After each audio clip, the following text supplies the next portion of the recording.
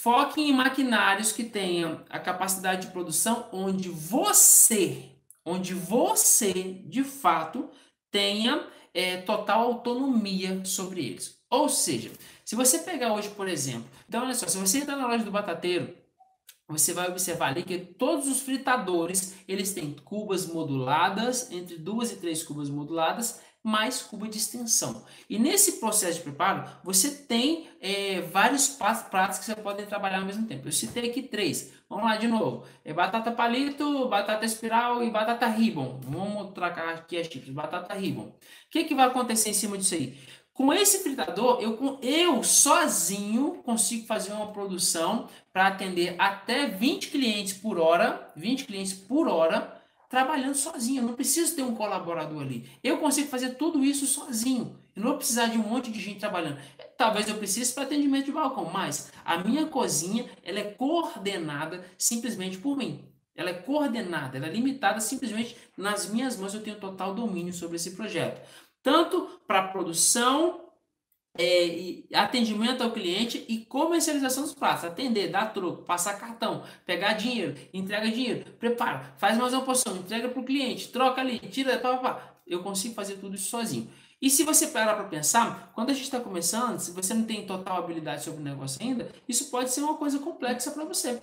Ou não, se você tiver equipamentos corretos. É, então, quando você tem essa, essa facilidade, que todo o negócio está ali nas suas mãos, simplesmente seu equipamento dá capacidade de trabalhar sozinho, vai facilitar o que nesse começo? Você tem conhecimento maior da sua praça de preparo, tá? Você conhece todas as suas praças ali de preparação dos seus pratos, você consegue também reduzir os custos. Por quê? Porque você não tem que comprar mais um equipamento, você não tem que ter mais um colaborador. E tem gente que fala: ah, meu negócio está crescendo, tive que comprar mais duas fritadeiras. Uh, comprei mais duas fritadeiras, coloquei lá, contratei mais duas pessoas. Gente, vocês estão enlouquecendo isso aí. Essa ideia, ela não é tão inteligente assim quanto ela parece. Por quê? Se agora você tem duas fritadeiras, né?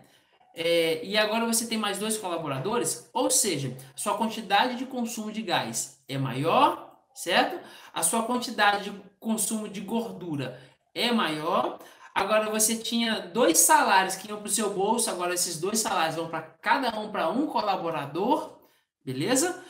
Produto de limpeza que você usava para um equipamento, agora você gasta para limpar dois equipamentos.